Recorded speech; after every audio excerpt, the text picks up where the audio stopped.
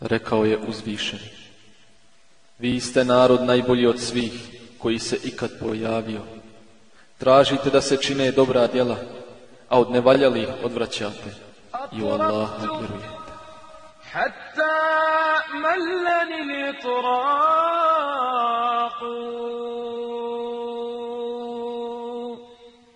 وبكيت حتى احمرت الأحداق Trebamo znati da imamo mnogo stvari koje su kod nas ušle, a nemaju osnovni u hanetijskom mesebu. Ali mi to sve pripisimo hanetijskom mesebu. سامرت نجم الليل حتى غاب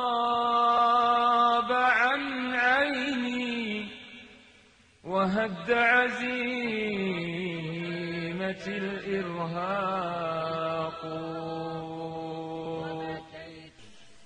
Kao sam čuo da je neko rekao nedavno, za svaku riječ u ča ugasit ću na ludu, ja ću ti naći deliš. dakle, dokle se ide u kakvu krajnost.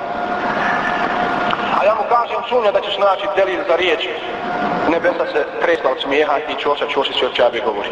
يأتي الظلام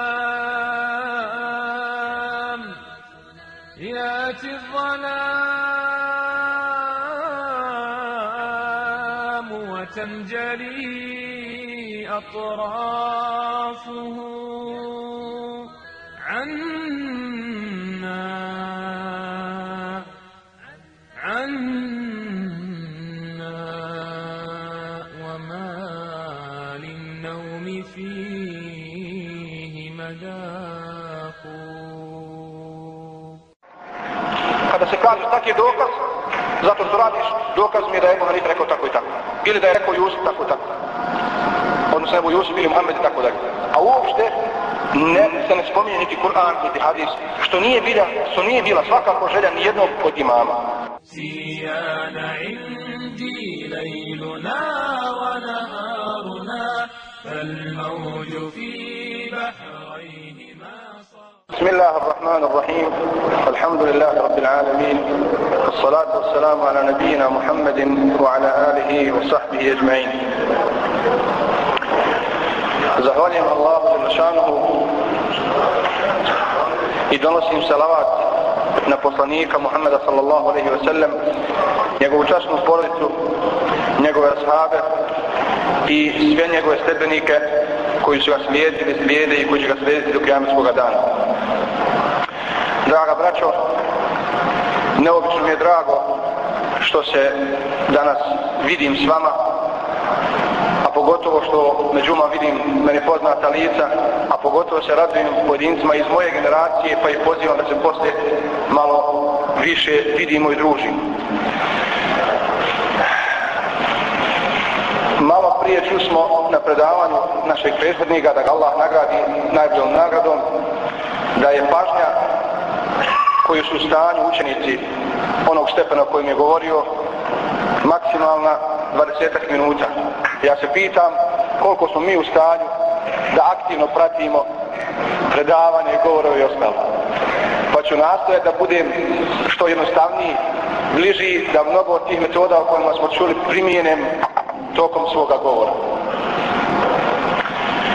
Naime, živimo u teškim vremenima. Na vrlo nezgodnom mjestu.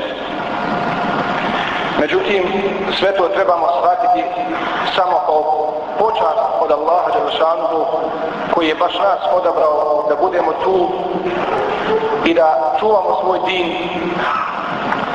da pokažemo čitavom svijetu da možemo biti muslimani, dosljedni svoje vjere i Allahova zakona i ovakvoj sredini u kojoj živimo. Da se preko nas pokaže pravo lice naših neprijatelja koje Kur'an tako slikovito opisuje, ali nažalost mnogi Kur'an ne čitaju, pa i mnogi od naših muslimana, pa je bilo potrebno nama, a i cijelome svijetu, da Allah Đelešanu istinu o zapadu, o kršćanima, o Americi, o Evropi kaže i na ovaj način. Vrlo je bitno da se mi na ovakvim susretima konsultujemo, posavjetujemo i porazgovaramo o aktuelnim pitanjima koja nas muče, koja su tu, koja su nezaobilazna. I velika je greška prepuštati stvari stihi da se to odvija samo po sebi bez pokušaja da to rješavamo i blagovremeno usmjeravamo pravim tokom. Ovdje kod nas izbijanjem ovoga rata i dolaskom naše braće iz inostranstva, naše braće muslimana, Arapa i ostalih koji su došli kao vjernici i gledali i slušali o svim nedaćama, pokoljima i ostalim što se dešavalo muslimanima u Bosni i Hercegovini, jednostavno odlučili da sprovedu masu kuranskih ajeta koji obavezuju sve muslimane u svijetu na pomoć svojoj braći ma gdje, se, ma gdje bili i gdje se nalazili i došli su tu. Normalno, sa sobom su donijeli svoje običaje, odnosno donijeli su svoj način i namaza i razmišljanja pristupa islamu i ostalo. I nastale su ove razlike kako ih trebamo vidjeti i shvatiti mezhepske razlike. Najizražajnije je to po pitanju namaza, obljanja namaza, načina klanjanja i ostalo. Braćo moja, kako bi pravilno shvatili taj problem, moramo se vratiti praksi Božeg poslanika sallallahu alaihi wa sallam, životu ashaba, tabiina, imama koji se smatraju utemeljivačima poznatih mezheba fikskih kao što je Ebu Hanife, Malik, Šafi i Imam Ahmed. Da vidimo kako su to oni živjeli je li u vrijeme Božih poslanika sallallahu alaihi sallam sve bilo istobrazno nikakvi razlika nije bilo je li to bilo vrijeme u, u vrijeme ashaba, tabina i ostali ili je i tada bilo razlika koje su bile normalne i koje nisu predstavljene nekakvu prepreku na zajedničkom životu i nisu utjecale na jedinstvo muslimana. Allah Đelešanu mu je odabrao poslanika sallallahu alaihi ve selleme kao najeftalnijeg kao najeftalnije stvorenje i njega zadužio da svojom praksom pokaže muslimanima kako treba da se sprovedu u život imperativi Allaha Đelšanuhu kroz Kur'an odnosno kroz hadis koji je isto tako izvor, izvor islamskog prava. Za vrijeme Božih poslanika sallallahu alaihi wa sallam ashabi su imali njega i za svaku stvar, za svaku pitanje koje im je bilo nejasno se njemu obraćali i on bi na to odgovarao obavezujući ostale to prihvatio. Međutim, imamo primjera iz života Božih poslanika sallallahu alaihi wasallam gdje su ashabi, različiti ashabi, različito razumijevali i prelazili pojedinim hadisima i uputama Božih poslanika sallallahu alaihi wasallam. Poznat je događaj kada su jevreji koji su uvijek bili izdajice, prevaranti, varalice, neprijatelji Allahovi i vođe zla u svijetu nakon što je Allah Đelšanu prokleo i oni danas rade u ime šeitana i e, predvode sva dva djela koja se dešavaju na ovome svijetu.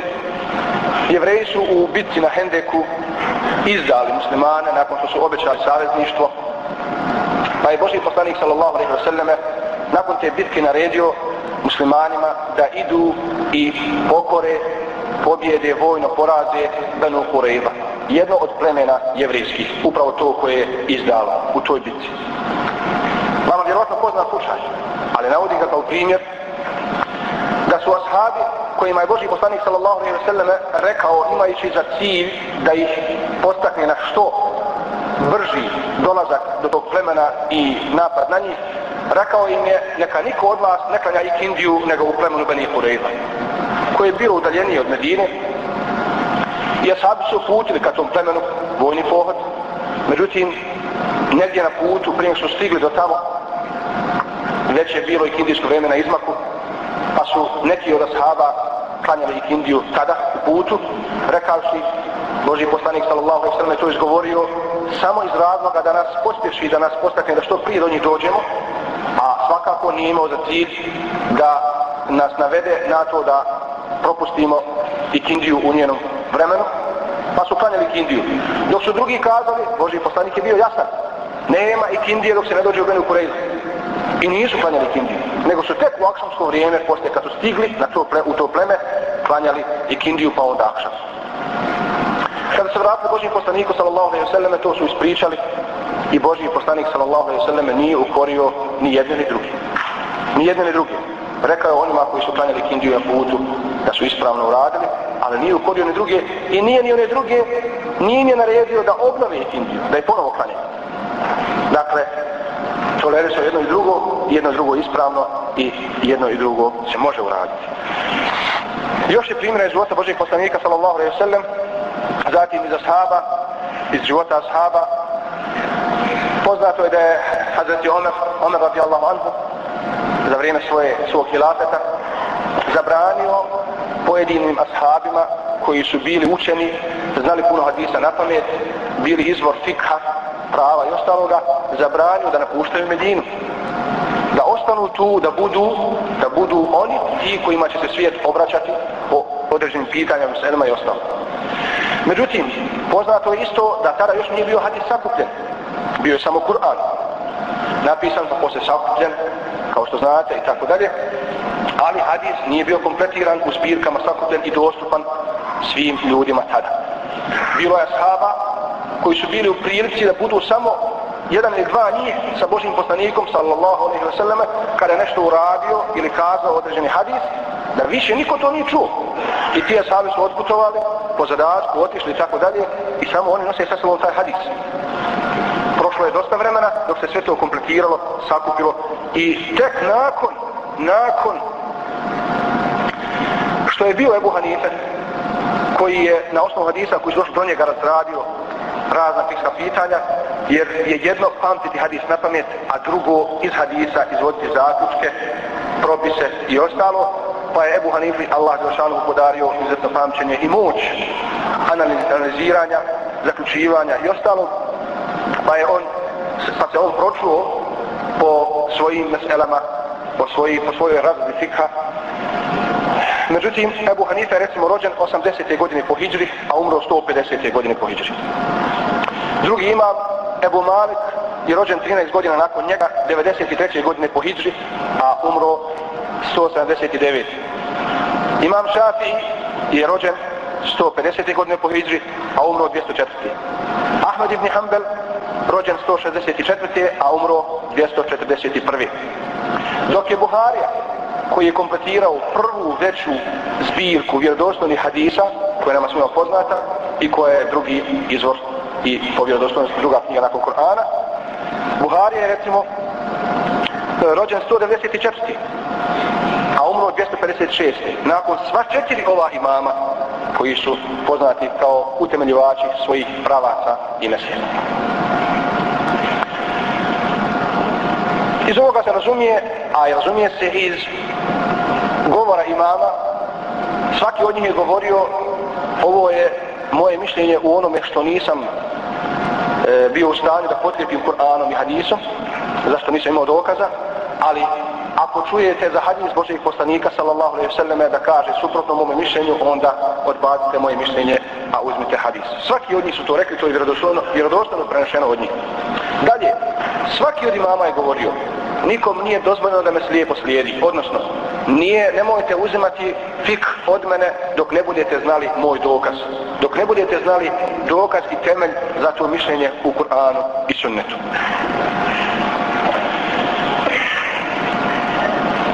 Međutim, nakon širenja islamske države i njenog slabljenja, kada su počele nasljednje dinastije, kada su se počeli vladari e, nasljeđivati porodično ili e, dinastijski, pa su mnogi od tadašnjih vladara podržali mezheb kog su oni prihvatili time što su uslovili kadijama, sudijama da sude, da e, prosuđuju po tom mezhebu, pa su se tako neki mezhebi raširili više nego drugi i tako dalje.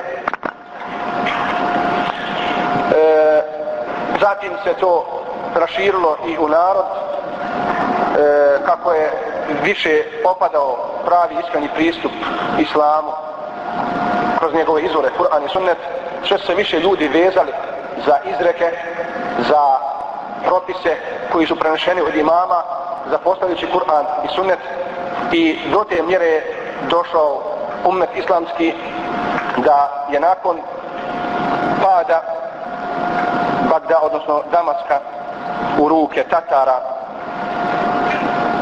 e, 656. odnosno 656. godine bilo takvo stanje u islamskom svijetu da su u jednom Damasku recimo postala je džamija sa četiri mihraba. Svaki mezheb je imao svoga imama i svoj mihrab. Niko nije htio da klanja za drugim imamom drugog mezheba. Do te mjere da je došlo do svađa, otvorenih prepiski, prepirki i ostaloga Do te mjere da je jedan period proveden u Damasku da su se oružano borili jedni protiv drugih. Naime, da, naime, ovaj, poznato je da je bila oružana borba između Hanefija i Hanbelija. Pogledajmo, Ebu Hanife kao prvi imam, koji je ovaj, mezeb, čiji se mezeb raširio, rasprostranio u određenom broju ljudi, je pola, raspolagao sa hadisima i ajetima na, jer, sa određenim brojem hadisa ovaj, što nije što je nije slučaj sa Malikom koji recimo pisac, autor, odnosno s, koji je sakupio čuvenu zbirku hadisa Muota. Muota ima Malik koji je poznat kao vjerodostojna zbirka i čiji su hadisi kompletno uvršteni u Buhariju i Muslima. Nakon Malika Šafi, koji je isto tako bio čuven po, po pamćenju hadisa na pamet, po pamćenju e, djesništva, e, stihova iz arabskog teksta i tako dalje, a zatim Ahmed ibn Hanbel koji je posljednji od njih i koji je jedan od prenosioca hadisa, odnosno jedan od sakupljača poznatog čuvenog musneda, musned ima Ahmed ibn Hanbel, koji u sebi ima nekih 40.000 hadisa. I kada analiziramo fikr imama, vidjet ćemo da recimo posljednji od njih, Ahmed ibn Hanbel, po jednoj meseli ima više mišljenja. Zna se desiti tri, četiri mišljenja po jednoj istoj, po jednom istom pitanju. Može, ne može, može nekad, ne može nekad i tako dalje. Zašto? Zato što je se našao u situaciji da po toj, po toj temi ima tri različite predaje. Hadisa Božih poslanika sallallahu alaihi sallam. Nije mogao nikako da jedan hadis uzme, a drugi odbaci. Jednostavno rekao, može i ovako, može i ovako, a može i ovako. Uzmajući u obzir sva tri hadisa koja e, se spominju o toj meseli. Dok nije slučaj kod Ebi Hanif, Ebu Hanifa je e, išao sa određenim ajetima i hadisima i nastojao da sve ostale ili ovaj e, zanemari normalno iz opravdanih razloga, pravilno koja je postavio i tako dalje, smatrajući da je ovaj hadis više sahih, ovaj manje i tako dalje. Međutim, ulema i muštehidi koji su dolazili posle njih su naišli na nešto što se u fiku zove fiku ihtijar. Naime, jednostavno je bilo nemoguće pomiriti sve te razlike među muslimanima koje, se, koje su nastale e, preko mezheba. Nemoguće je pomiriti i zbog toga je jedan dio leme pozivao u fikhu ihtijar. Naime, da možemo birati birati e,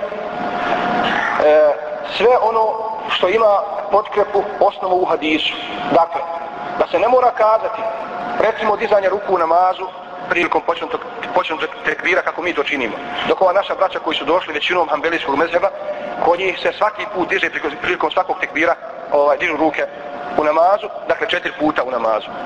Pazite, postoji hadis sahih da je Boži poslanik sallallahu alaihi ve sellem, to što znači u Buhari i ostalim zbirkama, dizao ruke samo jedan put. A postoje i hadisi isto tako sahih u kojima se spominje da je Boži poslanik sallallahu alaihi ve sellem četiri puta dizao ruke u namazu. Jedan dio uleme islamskih pamnika je išao na terđih, da da davanju prednosti jednom od mišljenja. Pa su kazali, pošto je više sahih hadisa koji govore o tome da je Boži poslanik sallallahu alejhi ve selleme dizao ruke svaki puta, dakle četiri puta, onda uzmamo to mišljenje, a ovo drugo otpada. Odnosno, ovaj rivajet prihvatamo, ovaj drugi, drugi zanemarujemo. Međutim, pošto se to tako rasprostranilo i bilo je, recimo, Endalus, Španija i ostale zemlje, Alžir, Tunis i ostali su, u njima se rasprostranio malikijski mezheb. Ovamo, u Pakistanu, Indiji, Turskoj, hanefijski mezheb, shodno vladavni koja je vladala i halifi, odnosno vladaru koji je mezheb slijedio i tako dalje, sad je bilo nemoguće ovaj, sve to objediniti i kazati ovo je ispravno, ovo je neispravno. I zato je se javio jedan veliki broj uleme koji kažu da treba kazati da je dozvoljeno jedno i drugo. Naime, svaki čin koji radiš u namazu ili mimo namaza, ukoliko za njega ima dokaz iz Korana ili sunneta, Božih poslanika sallallahu alaihi wa sallama, nema potrebe da takvog čovjeka e, da takvom čovjeku kažemo da je ono što radi grije ili neispravno, zato što postoje jači hadisi koji govore drugačije. Nego treba reći i jedno i drugo ispravno i nema potrebe ni za kakvu polemiku, nema potrebe za razglavanjem šta je preče, šta nije, šta je vjerodostojnije, šta nije, tako dalje. Ako se radi o sahih vjerodostojnom hadisu, onda može i ovo, može i drugo i nema nikakve potrebe oko razloga. Koliko je to prihvaćeno, koliko nije, to je druga stvar. Međutim, ta pristrasnost određenim mezhebima E, se gomilala i povećavala zbog toga što su i fakihi koji su posle svojih imama pisali fikska dijela koja su još danas u islamskom svijetu priznata kao vodeća i koja se najviše proučavaju u školama, medresama i ostalo, oni su, e, pišući ta svoja dijela, nastojali po svaku cijenu da sve ono što je njihov imam rekao potvrdi. Potkrijepi hadisom, služi se ponekad i varkama, ponekad nisu ni spominjali hadise koji postoje za koje znaju da ne bi ovaj im omijeli onu njihovu nakon i tako dalje, pa su nastala dijela u kojima pojedini fakihi kažu otvoreno cilj mi je da u ovom dijelu potkrijepim svaku riječ našega imama koju je rekao hadisom ili Kur'ana. Recimo, dakle to mu je nijet potpisanje te knjige. Što je dovelo normalno da oni koji to čitaju isto tako razmišljaju i kažu sve što je naš imam rekao ima podlogu pravnu sunnetu, kao sam čuo da je neko rekao nedavno za svaku riječ u, ča, u Gaševićovom ludu ja ću ti naći deliš. dakle, dokle se ide u kakvu krajnost. A ja mu kažem sumnja da ćeš naći delil za riječ. Nebesa se tresla od smijeha i čoša čoši se od čabe govori. Pa ne se, to je ovako ono umjesto igre, jel? U Zagrebu. Dalje, do pristrasnosti mezhebima je dovelo i to što su pojedini muslimani pridavali svetost malte ne svojim mamima, odnosno previše i veličali nego što je to potrebno i dozvoljno sa islamske strane gledišta. Naime, napisana su, napisana su mnoga djela o fadiletima imama utemeljivača ovih mezheba. I svakako da su bili takvi, svaki od imama. Ebu Hanife, kako se navodi, umro u zatvoru koji je postio, ne znam, 40 godina se nije umrt, 40 godina je postio, pa 40 godina je e, noć proveo, odnosno klanjao, kaže se tamo u pojedinim knjigama, klanjao sabah sa jacijskim abdestom. Umro u zatvor zbog svojih stavova, kojima je bio dosedan, nije htio da se podvrgne nekakvoj policiji i tako dalje. Malik isto tako poznato je da je on bio u zatvoru, proganjan zbog svojih ideja. Ahmed ibn Hanbel isto tako. Svi su oni u istinu e, ulema, privrženi sunnetu, znani i treba ih svakako cijeniti i poštovati njihov trud koji su i doprinos koji su dali islamskom pravu, e, islamu, općenito i tako dalje. Međutim, ići do te mjere da se, na primjer, u tim dijelima napisano su dijela više od knjige o svakom tom imamu, o svakom imamu, dakle naše. Recimo, Abi Hanife napisano, napisano 4-5 naslova za koje ja znam o njegovim osobinama, fadiletima i tako dalje. U jednom od tih dijela stoji da je Ebu Hanife čuo svađu dvojice ljudi na čini se perzijskom jeziku koji on nije poznavao i oni su se tužili kadi i kad je tražio svjedoke, oni su rekli niko nije bio svjedok nego jedan čovjek koji je sjedio tamo za stubom u džami, pa ako on šta zapamćio. Kad su došli Ebu Hanifi, kažu jesam, čuo sam. A šta su govorili, ja ne znam šta su govorili, samo znam sve ponovi šta su rekli. I onda kaže, ponovi čitav njihovu svađu na jeziku koji uopšte ne razumije. Ne razumije ta jezik, dakle nije arabskom jeziku bila priča, na perzijskom. Pa ne mora biti perzijska, uglavnom bila je na jeziku koju on ne razumije. I recimo najčešće takve priče o Ebi Hanifi, dakle to je imao toliko jak hips i tako dalje, u kojima se već pretjeralo koje nemaju osnova i u kojima već se počela raditi ta ideja i normalno iz raznih još političkih razloga, iz e, antagonizma i ostaloga, Arapi, Arapi, Turci, Arapi i tako dalje, sve se to uvlačilo do te mjere da se postalo jednostavno kada se kaže tak je dokaz? Zato što radiš, dokaz mi je da je Ebu Hanif rekao tako i tako. Ili da je rekao Jusuf tako i tako. Odnosno Ebu Jusuf ili Muhammed i tako dalje. A uopšte ne, se ne spominje niti Kur'an, niti hadis, što nije, bila, što nije bila svakako želja ni jednog od imama.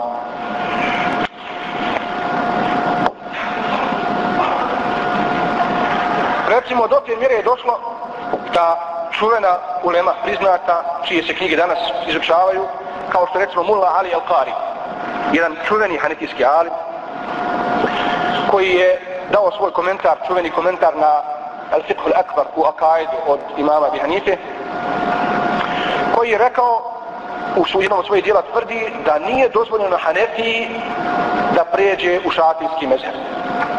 Da prihvati šafijski mezheb. Ako to uradi, on se mora kazniti. Kazniti. Kao tazir, opomena. Zamislite. Da je, drugi jedan kaže, recimo, da je Hanefi, da Hanefi nije džajz klanja za šafijom.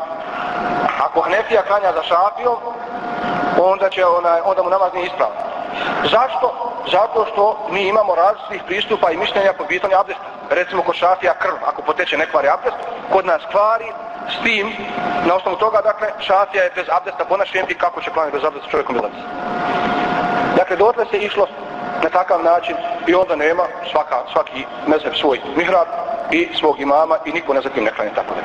Sve je to bespotrebno i svakako svakako nema osnovu u Kur'anu i sunnetu i to mi danas ne bi smjeli nikako prihvatiti i ne bi smjeli podržati.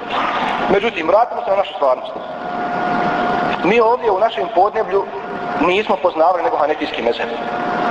A pogotovo u novije komunističko doba u kojem smo ostali bez velikih autoriteta koji su pisali, koji su poznavali i tako dalje, nego smo se ograničili na ono što smo imali na bosanskom jeziku iz fika. Svakako, e, trebate biti svjesni da jedan fikh ibadat koji smo imali kao jedini izvor za fik je tek početna riječ u fiku. I taj fikh ibadat nije kompletiran, nije u sebi sadržao kompletan fikh, ali to je što smo imali iz tih pozicija treba nastupati. Naime, trebamo znati da imamo mnogo stvari koje su kod nas ušle, a nemaju osnovni u hanefijskom mezebu. A mi to sve pripisujemo hanefijskom mezebu. Ja potpuno razumijem vas, naš narod, koji nije imao nego to i tako naučio. Međutim, shvatimo da su ova naša braća koja su došla i ova problematika jeste naš, na, e, nastala njihovim dolaskom, a ne prije. Ja sam za ove razlike znao još odavno i u svom džematu gore u Kljacima sam klanjao ponekad drugačije nego, nego ostalo sam da budem neupadljiv. Međutim, naša braća koja su došla do tada, u većini su sljedbenici ili hanbelijskog mezheba ili jednostavno jedno, jedne, jedne, jednog novijeg pravca danas koji zagovara da nema potrebe uopće ograničavati na mezhebe nego jednostavno e, zašto imamo osnov u Kur'anu i sunnetu izabrati najvjerodostojni rivajet i ponašati se potrebno u namazu i svugdje. Kao takvi oni su odrasli u takvim sredinama. Isto kao što mi nismo znali ni za što drugo nego za naš hanefijski mezheb onakav kakav je ovdje prezentovan i kak smo imali, kakvog smo imali u Fikuri Badat, isto tako su naša braća došli od otuda gdje nisu imali ovaj nego to kako su odgojeni, kako su naučeni i to su donijeli sa sobom. Došli su tu normalno i to ima osnovu Kur'anu i Sunnetu i to je većinom hambelijski mezheb u većini slučajeva. Prema tome nema niko pravo da sad govori da to nije u redu. Međutim, šta se desi? Mi, a pogotovo stariji među nama, koji su, alhamdulillah, i da je Allah nagradi, održali islam ovdje, klanjali u džanjeva po 50 godina, po 60, koliko ima 80 godina stari, tim postupkom naše braće, a pogotovo naših bosanaca, muđahida, koji su odgojili sa našom braćom Arapima i prihvatili taj način obavljanja namaza, ja to djecu potpuno razumijem, bio sam sa njima, bio sam sa njima i u jedinici i tako dalje. Zašto? Zato što njemu svaki od ove naše braće Arapa kaže ja radim ovako jer je to Boži poslanik sallallahu alaihi sallam radio pa otvori Buhari, otvori Muslim, evo dokaz. A što naš džematlija koji klanja tako, kad ga muđahid upita, imaš dokaz za to, on kaže, pa tako se klanja. I razumite tu djecu? Oni ne mogu nikako prihvatiti to, tako se klanja pred hadisom i Kur'anom. Ali pazite, ja se slažem da je tu bilo stvarno netaktičnosti, e, nemetodičnosti, grubih istupa i nastupa koji su izazvali revolt i reakciju. Naime, dolazimo u džemate, da bude nekako konkretan. I muđahid koji je naučio da treba rastaviti noge, odnosno da treba spojiti i to ne prste, ne, ne, ne stopu onako, samo stopu, nego članak sa člankom od klanjača koji je do njega. Dođe u džamiju gdje su sve ljudi naši naučili onako kako, kako su naučili da klanjaju i rastavlja se samo jel, četiri prsta koliko između dvije noge. Pazite. Hoće tako, nisu adekvatno pripremani kako da se postavi u toj sredini. Kada bi svi ljudi rastavljali noge da se dodiruju, normalno bi bilo rastavljene noge svakoga čovjeka u visinu ramena, ništa više. Ali pošto ova dvojica sa njegove desne i lijeve strane e, svoje noge e, e, bliže ovaj spaje jedna drugoj, on se mora rasporesti stvarno upadljivo i stvarno nezgodno. I što je još gori slučaj, on uopšte ne uvažava tog čovjeka koji nije nikad drugačije klanio, koji nikad nije živio i ne zna da on njega kad dine nogom ulogu, da on njega dekoncentrisa, da ga izazove, da ga naljuti jednostavno. Pa ima slučaja da čovjek digne ruka i možda šta lane i iziđe iz džami. Dakle, to su greške naše braće u istinu. I to se nije smjelo desiti. Dalje, Uzmo recimo sunnet kad se klanja. Isto tako vidiš te momke, sunnetu nema nikakve guže, nema nikakve potrebe, nije u sapu uopšte, ali su opet raskoraču onako najšlije što može. To su u istinu istupi, neiskustvo, mladost. Međutim, braćo moja, zar ne, nismo dužni cijeniti u toj našoj djeci to što su došli u džamiju, odnosno što su postali muđahidi? Momci koji stvarno iskreno ima Allaha se bore i žele šehadet, braća moja. Ja sam bio svjedok te naše djece, ti naših momaka, mladića, muđahida, koji plaću, plaću, suza suzu goni kad se vrati iz zaključku u šehir i ostalo.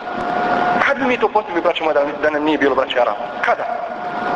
Ja se pitam, bil ikada postigli. Prema tome, cijenimo to kod tih momaka, a vi kao imami, nama je presudna uloga kako da se postavite i s tim momcima, a i s ovim džematima koji nikako ne mogu da shvatije i nikako da se odreknu onoga na što navikli i treba i njih razumjeti. 50 godina on klanio tako, sad ti njemu jedan put promijeniti i tako dalje, to je razumljivo. Dakle, treba da postoji obostrano razumijevanje i s jedne i druge strane. Kao što ti muđajici su griješili tim svojim takvim istupom, isto tako su griješili naši ljudi, mi smo griješili, naš, pogotovo stare generacije, ja sam sinoć bio jednoj džami u Travniku i rekao o tome, a on meni jedan ustare kaže, ma šta ti hoćeš da kažeš, da je ispravno kako oni klanjaju? Ma nije tačno. Rekao, kako nije tačno, imaš zato dokaz? Imam, kaže, koji dokaz? Sigurno nije tačno. šta onda? وفي أهدابي الفراق سيان عندي ليلنا Naš neprijatelj koji kao što hoće nas fizički uništi oružjem, isto tako i još više nastoji, nastoji da nas razjedini. Jer ako nas razjedini i na tim vjerskim osnovama, nas koliko dolazi u džami, možda 1% braća. 1%. I taj 1% treba da se svađa oko čega? Oko tih sitnica. Zašto sitnica? Zato što ja sam od početka govorio i ovdje ja mu kažem vama svima da je glavna greška za ovo u islamskoj zajednici. Zašto se nisu na vrijeme adekvatno obratili kako treba? A nekad je već problem nastao, onda se reklo, vraćamo se našem hanefijskom mezebu, razumilo se u narodu, vraćamo se onako kako je bilo, sve ispravno i tako dalje. Trebalo, trebalo je odmah na početku reći našim džematljama, braćo moja, onako kako ste klanjali. Nema niko pravo da vam kaže da vam namaz nije ispravan i da ste čaba klanjali 50 godina ili 100 godina. Ispravno je kako ste klanjali. U najmanju ruku farz i što se tiče farza su, je ispravno i nema potrebe nešto posebno mijenjati. Rukno mi normalno farz, farz, farzovi u namazu, tako da to je sve ispravno, nema neke posebne promjene, nema uopšte potrebe se svađati oko toga. I treba kazati svakom tu našem ađe, svakom djeri, da ga Allah nagradi, klanja kako se naučio, nema nikakvih problema. Gdje su razlike? Ono što nema osnova u sunnetu, odnosno u hanetijskom mezabu, to je taj naš muezinluk. Naime, po svim predajama muezin uči ezan i kamet i ništa više, braćo moje. A sve ostalo, poslije nam farza, svak za sebe uči. Svak, a ne mi šutimo, a muezin uči. I on ima sevap, mi nema. I tako dalje. Dakle, tu je muezinluk, onda tespih posle farza ili posle sunneta, što je svakako ipak manje važno u odnosu na farz, koji je ispravan ilhamdulillah. alhamdulillah. Međutim, naši ljudi naučili da se u isto vrijeme klanjaju sunneti, u isto vrijeme zajedno dova i u isto vrijeme izlazi. I njih, ako neko iziđe prije sunneta, odmah nervira, kažu ostavljaju sunnete, neko e, ne uzubila, neće da klanjaju sunnete, tako dalje. Međutim, koliko od ti naši, od ti naše braće su tu smatrali se musafirima, pa klanjaju samo farze i to iskraćuju i tako dalje, koliko imamo mlaka koji je prihvatilo da je bolje vitre, recimo, i sunnete klanjati u kući nego u džami, pa to praktikuje, treba to sve uvožavati, dakle. Zato kažem, onako kako smo mi obavljali naš namaz, u suštini nema nekih bitnih promjena. Što se tiče farza, nema nekih bitnih promjena. Ali isto tako, braćo moja, znajte da je ono što su ti momci naučili i sa čim su došla naša braća Arapije isto tako ispravno i ima podlogu u hadisu. I ako neko kaže, a amin naglas, neka to nikog ne iritira, to je sunnet sigurno u Buhari, svi pročitati ta hadis. U Buhari se spominje gdje Boži poslanik sallallahu alejhi ve selleme ovaj, e, to činio je sahabi sa njim, naime, gdje su jevreji rekli, najviše muslimanima zavidimo na nekoliko stvari između ostaloga na ono njihovo amin. A zašto? Zato što se u Fatihi kaže Allah, moli se Allah da nas uputi na pravi put, ne na put kršćana koji su zalutali, niti na put jevreja koji su mahdubn ali koji na koje se Allah rasrdio. Jer oni nisu zalutali za znanje, ako su znali, a pogaze istinu i odmetnu se od Allahove riječi. Pa mi onda na to kažemo amin. Jevreji to znali i bilo im je krivo zbog toga. Prema tome, ne može niko reći da to nije ispravno. Drugo, ako neko kaže amin na glas, po jednim, jednom dijelu od naše uleme ili ostataka bivše uleme, se to ne može zašto? Jer kaže nije dozvoljeno čovjeku, pripadniku jednog mezeba da uzima i drugog mezeba. I to je, braćo moje, uistinu bilo mišljenje, kako rekao jedno vrijeme, mišljenje koje je vladalo i prevladavalo u muslimanskim sredinama. Da čovjeku nije dozvoljeno da ovaj bilo što od drugog mezeba uzima, inače smatra da izlazi iz svog mezba i tako dalje. Što svakako nije osnovano, braćo moje. To je bilo ono doba dekadence i opadanja islama i služenja i kadija i uleme u većini slučajeva politici koja je vladala i tako dalje. Stoga, stoga ću vam reći, Allahu Đelešanu je rahmet da imamo tih razlika manjih u pristupu određenim pitanjima i ga, ja vam odgovorno tvrdim da svako ko prihvati bilo šta što ima podlogu u Kur'anu i sunnetu, a u okviru barem jednog od četiri mezheba nije pogriješio i uopšte nema potrebe oko toga polemisati. Prije muslimanski svijet bio podijeljen. Hanefije su, u, kao sam rekao, u Pakistanu, Indiji, Turskoj, kod nas, e, tamo su Malikije, na drugom mjestu, tako dalje. Međutim, danas je svijet izmiješao. Ja sam bio po mnogo e, arapskih zemalja u Europi, tako dalje. Hanefije su i Pakistanci, Indijici i Turci. Nijedni isto ne klanjaju. Što tiče u globalu i sunneti, desbi i tako dalje. Hanefijski mezeb. Šta je Hanefijski mezeb? Koliko imamo od Hanefijskog mezheba? Sve to, sve to nije nama poznato. Zašto su nam, zato što nam nije pristupna literatura. Koliko ima mesela u Hanefijskom mezhebu u kojima se razlikuje e, Ebu Jusuf i Muhammed, dva najveća učenika Ebu Hanife, sa Ebu Hanifom po tim temama. I tako dalje. Sve to relativno, braćo moja. Zato ono čemu ja pozivam jeste da se tolerišemo, braćo moja. Da ne dozvoljavamo da neprijatelj koristi i to i da mi svjesno ili nesvjesno u njegovu službu padnemo time što ćemo se o, posvađati ili čak i zamrziti, ne daj Bože. I vjerujte mi, mene duša boli kada čujem po izjave pojedinih ljudi i uvaženih i u političkoj strukturi i u zajednici i ostalo kako govore o našoj braći negativno, o Arapima kao neprijateljima, svi špijuni došli iz raznih interesa, poslati iz raznih organizacije i tako dalje. Braća moja, to je opasna stvar. Vidite do čega su nas doveli. Smetaju nam braća koja su došla da ginu ovdje s nama u ima Allaha kao šehidi, a ne smetaju nam Caritas, ne smetaju nam razne zapadne organizacije koje ovdje pronose drogu, alkohol, prostituciju, kocku i ostalo. Ne smetaju, da, ne smetaju nam adventisti, jehovni svjedoci i ostalo. To nam ne smeta. Soros, jeverijska organizacija poznata u svijetu kao voditelj nemorala u društvima preko koje hoće da ih uništi. To nam ne smeta, to nam nije problem. Problem nam ko? Naša braća koji ginu sa nama zajedno na frontu. To je veoma opasna stvar, ne smijemo dozvoliti, jer braćo moja, dok još među nama muslimanima ovdje, ima onih koji prijateljuju otvoreno sa nevjernicima, sa Srbima i Hrvatima i pored svega imamo još slučajeva ovdje u našoj zenici da se naša muslimanka, valjda po imenu samo, uda za Srbina i Hrvata, dok to imamo i to biva normalno, mi svoje snage trošimo u diskutovanju oko ovih pitanja, u svađi i tako dalje i tako dalje. Braćo moja, veliki je to grijeh. I jedan, jedna od stvari koja izvodi iz imana jeste neprijateljevanje prema vjernicima, prijateljima, dostovima, a prijateljima sa nevjernicima. Izvode iz imana, ako se to svjesno čini, braćo moja.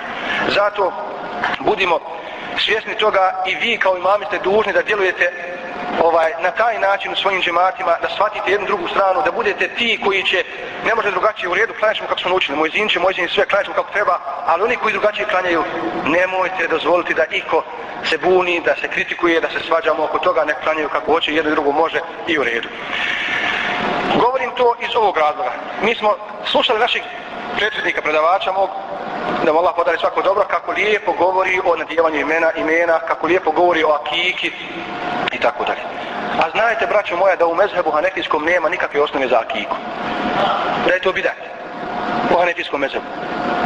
I sada ako ćemo i se držati slijepo svoga mezheba, mi to nećemo podržati. Zabranit ćemo dekretom islamske zajednice. Zar možemo to uraditi? I zar trebamo to uraditi? Braćo moja, svakako da ne trebamo. Vidite kako smo mi sebi dozvolili da i vjeru iskorištavamo u mnogo što šta drugo. Jedinstvo muslimana je stvarno jedan od prioriteta danas ovdje, danas ovdje kod nas u Bosni i Hercegovini. Jedinstvo muslimana u našoj borbi za opstanak i muslimani rezidenti. Međutim, ja vam tvrdim da se nikako neće taj problem riješiti ako budemo samo kazali samo je ovo ispravno, a sve ostalo neispravno. Jedino je rješenje jedinstvo muslimana u tome da se tolerišemo. Da može i ovako, može i onako i nema potrebe za diskusijom i za svađu. Vidite, recimo, dženaza džumom šehidima u Bosni i Hercegovini. Nema nikakve osnovne u hanefijskom mezebu. A to je uvedeno zvaničnim dekretom kod nas. Nikakve osnove nema u hanefijskom mezhebu sala, salatu al gaib. Jeste, salatu dženazat al gaib. Nema nikakve osnove.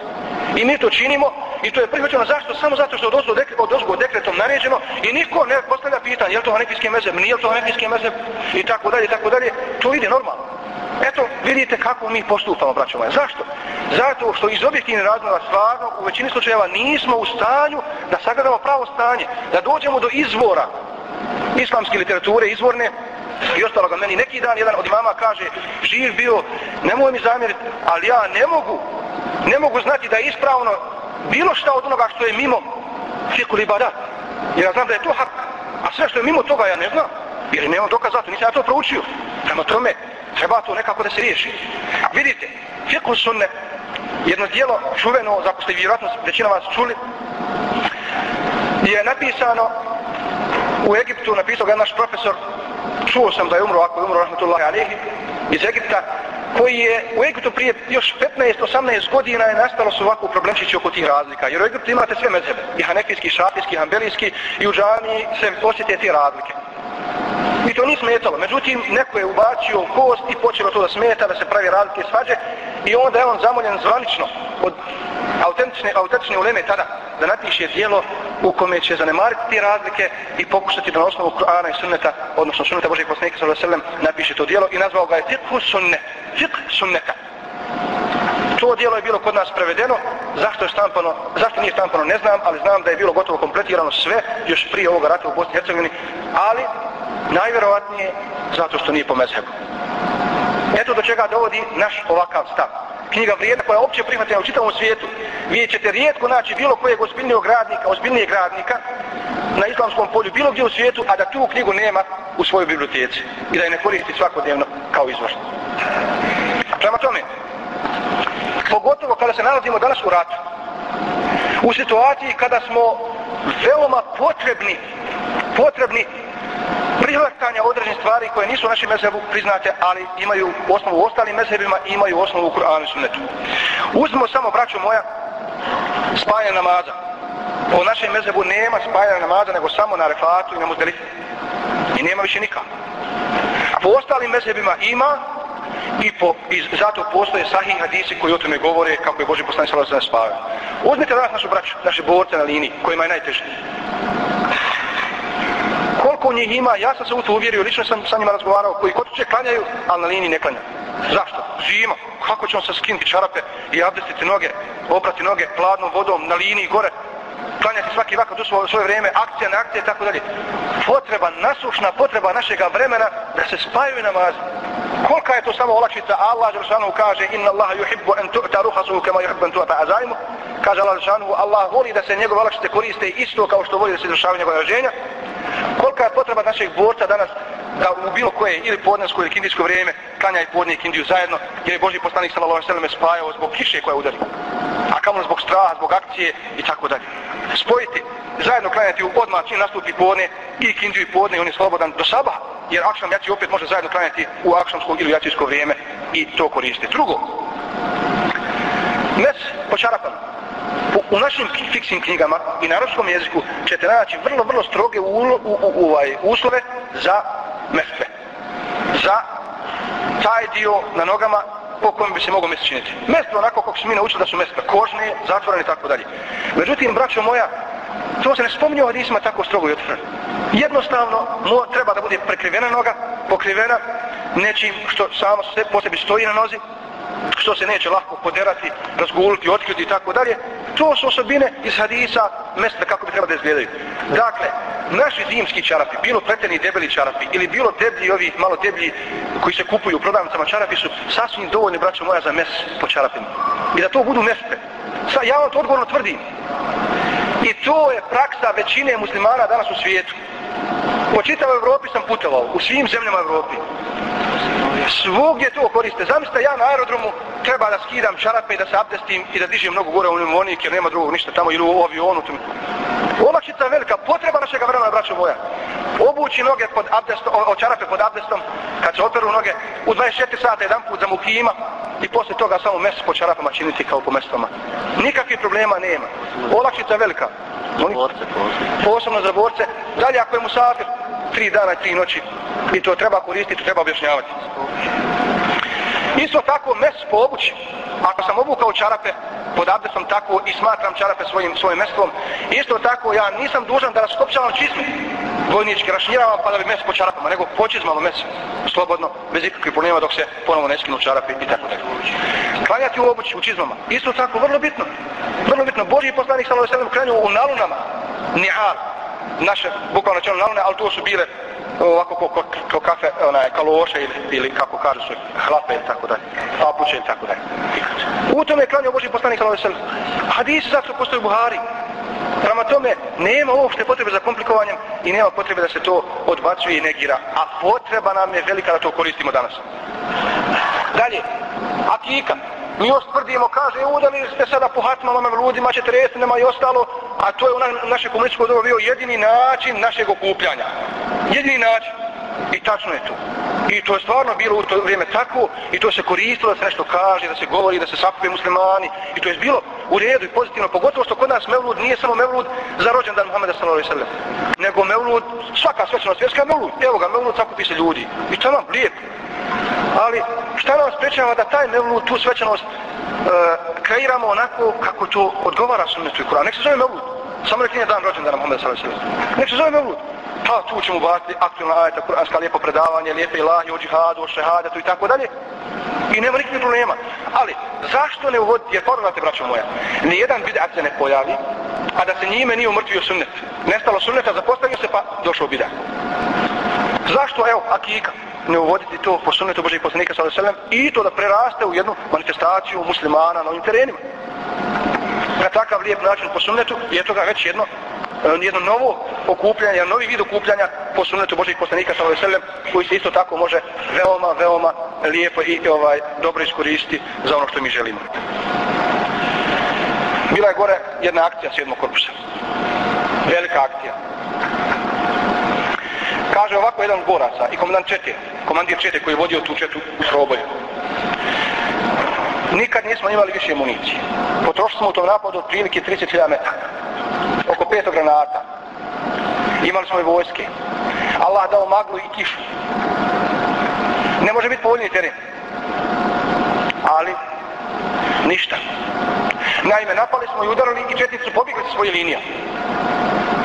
Ali nije se našao niko od naših boraca, istinski muđaj koji se ne boji smrti, pa da samo uskoči 30 metara što je ostalo očistog prostora između nas i njihovi minski polja i njihovi zamunica koje su bili pustili, znamo za to.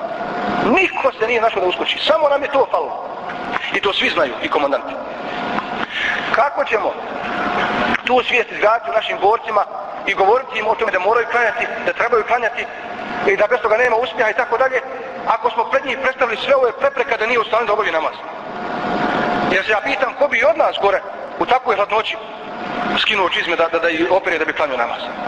Pitam se ja koliko bilo efendija da bi to radi, odnosno nas, i ja sam Efendija. Prema tome, braćo moja, vidite kako se tim stvarima postavljaju prepreke na putu vjernicima, a mi smo danas u situaciji kada živimo u doba gdje su muslimani, gdje je čitav svijet postao jedno selo, jedan džemat. Začas se ode i u Ameriku, i u Evropu, i svugdje, muslimani se izmiješali, nema drugog rješenja za sve muslimane u svijetu nego tolerancija. I neka nam bude vodilja u svemu ovome kuranski ajet u kome kaže Allah Đelšanuhu Kul in kuntum tuhibbuna Allahe fattabi'uni yuhbibkum Allahu وَيَغْفِرْ لَكُمْ ذُنُوبَكُمْ وَاللَّهُ غَفُورٌ رَحِيمٌ U suri Ali Imran 31. ajet kaže Allah Đelešanuhu reci ako vi volite Allaha Đelešanuhu i njegovog poslanika ako vi volite Allaha Đelešanuhu slijedite mene kaže Boži poslanik odnosno Allah Đelešanuhu ređe Boži, Boži poslaniku da kaže ako vi volite Allaha Đelešanuhu onda mene slijedite Allah će vam oprostiti vaše grijehe a on je milostiv i prašta i uvijek neka nam bude pravilo da ukoliko čovjeka u džami ili na bilo kojem mjestu vidimo da čini nešto što nam je nepoznato, što nismo do sad vidjeli, umjesto da ga odmah napanemo ili zauzmemo negativ stav prema tome, trebamo lijepo prići, sa vam, onaj korek mu se brate, kako šta ima, eh, ja to prvi put vidim. Šta je to, o čemu se radi? Pa ako vam kaže, to je zato što ima hadis na tu temu, ja to radim po tako dalje, nemamo nikako pravo da mu govorimo da to treba ostaviti, da to nije ispravno i tako dalje. Jedino na te ispade u metodi i ostalo možemo upozoriti na lijep način i tako ako Bog da prevaziš taj problem. Jer Allah Zršanu kaže, pogledajte, Ja, alladina amenu, ati'u Allaha wa ati'u Rasul, wa ulil amri minkum. O vjernici, pokoravajte se Allahu i njegovom poslaniku i predvodnicima džumama, fa in tanazatum fi shay'in. A ako se u nečemu raziđete, farudduhu ila Allahi wa Rasul. Onda neka u tome presudi Allah i njegov poslanik. Allah i njegov poslanik. In kuntum tu'minuna billahi wal yawmil akhir. Ako ste vjernici u Allaha i u budući svijet. Zalika khairun wa ahsanu ta'wila. I to vam je sigurno bolje i ispravno. Prema tome, braćo moja, kuranski ajeti, mnogo je ajeta na ovu temu i mnogo se o ovome još može govoriti i kazati, ali to bi bilo ukratko osnovne smjernice, a možda ćete reći kako mi da se kako mi da postupamo kao imami službenici u islamskoj zajednici, a Rijaset je od Osko izdao petu, naređenje, jel, da se mora držati netiskom mesebu. Ja vam ovo govorim kao vjernik u ime Allaha Đelešanu svima da znate kako nastupiti. A ja svakako ovo što govorim vama sam govorio i rejsu i još ću govoriti i založimo se da se sa ovakvim stavom zvanično iziđe i sa vrha i da se po tome da adekvatno objašnjenje. Jer ako neko vidi bolji način, neka izvoli. Jer ja se dobro sjećam, veći problemi su nastali nakon ovog proglasa Rijaseta nego prije. Zašto? Zato što su naši ljudi uzeli, ohrabrili se i kazali, evo vidite, vi ste rekli da je istina, a Eurejs kaže da nije istina i onda svačite. Prema tome, Allah Đelešanu molim da nas učine pravim iskrenim vjernicima, sledbenicima Kur'ana i sunneta u svakom momentu i u svakoj prilici, da nas učine od onih koji će ovaj narod voditi na osnovu smjernica Islama, temeljnih istina Kur'ana i sunneta Božih poslanika, sallam, koji će biti glavni akter jedinstva ovoga naroda i koji će s Božjom pomoću uspjeti da izvrše svoju zadaću i obavezu koja je pred njima predstavljena u ovim, e, postavljena u ovim teškim vremenima. Amin. Sallallahu nabina Muhammed. A bujrum, ako imate i pitanja konkretni, ja sam spreman koliko sam u stanju, koliko znam da odgovorim.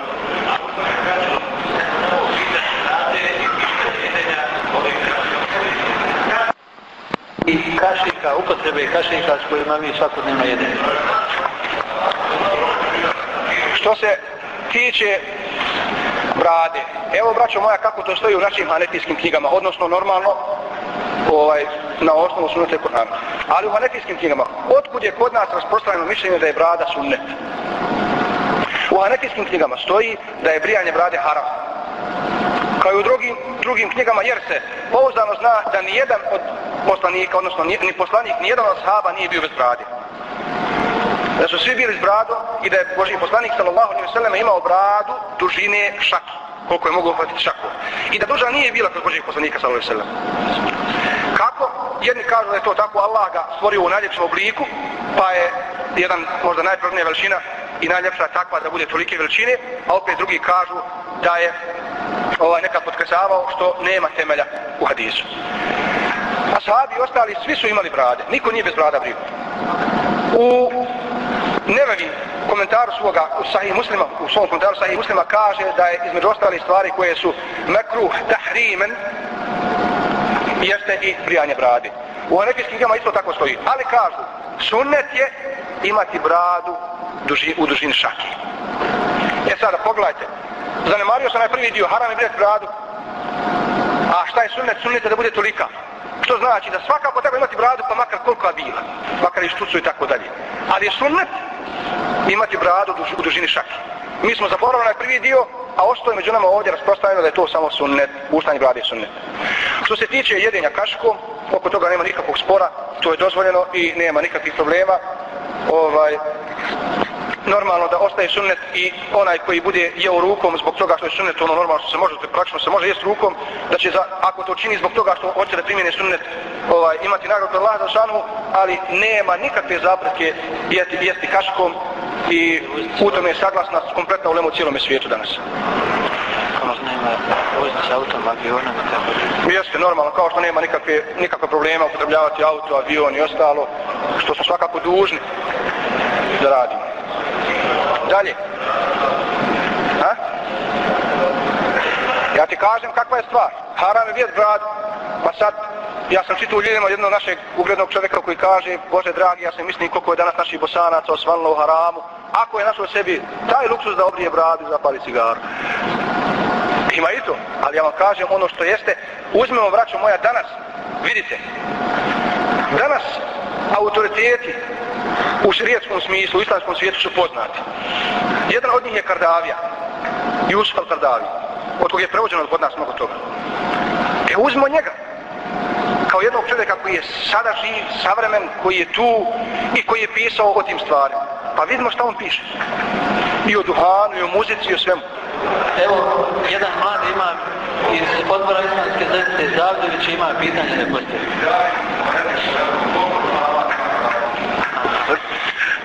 Po hanefijskom mezhebu džuma ima dva rekiata. Po hanefijskom i svim ostalim mezhebima. U to nema razlike. Međutim, u tome nema razlike, braćo moja. Međutim, u doba pada hilafeta iniciran je problem džume. Jer se po nekakvim uslovima tamo, odnosno normalno izvođenjem iz hadisa i Kur'ana i tako dalje, na osnovu Kur'ana i sunneta, ovaj, smatralo da samo može halifa da opunomoći čovjeka održano da klanja džumu. Da samo on može da postavlja. Kako je nestalo halife, ko će da čini? Nema halife, recimo kod čija se nije klanjala džuma. Do dolaska homini. Nema imama, nema džumi, nije bilo džumi. I uopšte nije u džematu klanjala. Nema džemata. Zašto? Zato što nema imama. Tako je u, kod sunnija bilo je postavljeno pitanje imameta i jednostavno kažu nema halife i nema niko pravo da postavi čovjeka da može da klanja džumu. Pa su onda jednostavno čistom notkom išli. Nama nije u interesu nikako da ukinemo džume. Nego jednostavno da ostanu džume. Ali mi ćemo i pored džume klanjati podne. Pa se tamo nije ti ahir i zuhr. Ako nije džuma sahih, nekam bude podne kako treba. Boži poslanik sallallahu alaihi sallam je klanjao prije, e, prije džume je klanjao četiri rakata, sunneta, četiri rakata, na file, dakle sunneta, po nama, a posle podne u džamiji dva i kod kuće dva. To je ono što je predošeno u hadisu, jer došlo od Božih poslanika sa alaihi o džumi, o džumi. Prema tome četiri prije, četiri poslije, to je sunnet za džumu i dva rakata farza. Jer ova sumnja ne stoji, ili ćemo klanjati podne, ili ćemo klanjati džumu. A muslimani nisu obavezni po vjerskim propisima, po fiku, po šerijetu, dakle, Allah im samo nije zadužio nečim u što ima sumnje, što je sumnjivo. Allah Žešanu nas nije zadužio nečim i stavio nam to u strogu obavezu, kao što je ibadet, što je sumnjivo, u što sumnjamo, nego ili jedno ili drugo.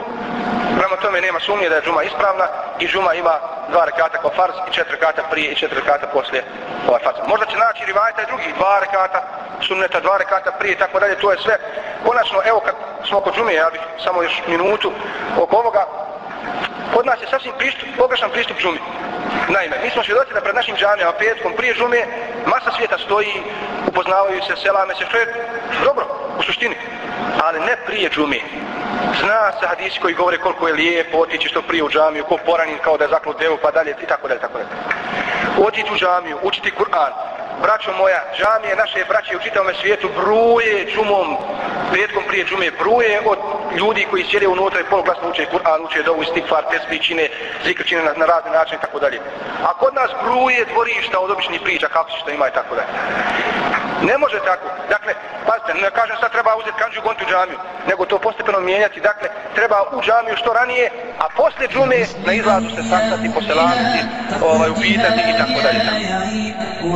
يحييه السلاح فمض للوطن السليم يا مسلما يا مؤمنا فكل جهاد ألا يعيب والنصر يحييه السلاح فنمضي للوطن السليم والظلم إن طالت يدا فرض الجهاد هو الطبيب سفكوا الدماء على الثرى في ساحة الشرف الرحيم سفكوا الدماء على الثرى في ساحة الشرف الرحيم فتناثرت أشلاؤهم تشكو رحى العنف المريب يا مسلما يا مؤمنا ترك الجهاد ألا يعيب والنصر يحييه السلاح.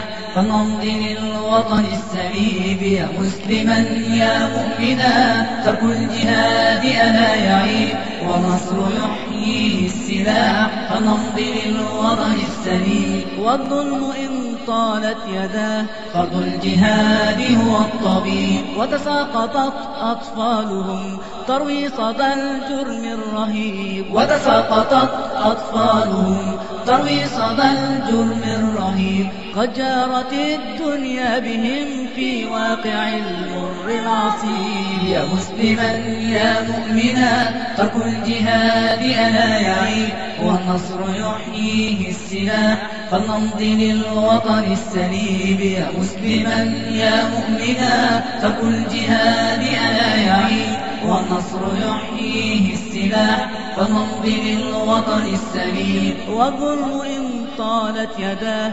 فرض الجهاد هو الطبيب. ضجت تكالى بينهم. تنعى شهيدا في الضريح ضجت تكالى بينهم. تنعى شهيدا في الضريح يا أمتي عبثت بنا قاعة غدر تستبيح يا مسلما يا مؤمنا ترك الجهاد لا يعيب. والنصر يحييه السلاح فنمضي للوطن السليم يا مسلما يا مؤمنا ترك الجهاد ألا يعيب والنصر يحييه السلاح فنمضي للوطن السليم والظلم إن طالت يداه فرض الجهاد هو الطبيب ضاعت بلادي ويلنا ونظل نبكي للغريب ضاعت بلادي ويلنا ونظل نبكي للغريب. تدعو نساء بيننا كف البكاء كف النحيب. يا مسلما يا مؤمنا ترك الجهاد ألا يعيب. والنصر يحييه السلاح. فنمضي للوطن السليب. يا مسلما يا مؤمنا ترك الجهاد ألا يعيب. والنصر يحييه السلاح فنمضي للوطن السليم والظلم إن طالت يداه فرض الجهاد هو الطبيب هو البغي جاوزه العدا والضيم للأقوى يبيح. والبغي جاوزه العدا والضيم للأقوى يبيح. السيف أصدق للورى والنار أقوى أن تصيب. يا مسلما يا مؤمنا ترك الجهاد ألا يعيب والنصر يحييه السلاح. فلنمضي للوطن السليم يا مسلما يا مؤمنا. ترك الجهاد ألا يعيب ونصر يحييه السلاح. فنمضي للوطن السليم. والظلم إن طالت يداه فرض الجهاد هو الطبيب. فرض الجهاد هو الطبيب.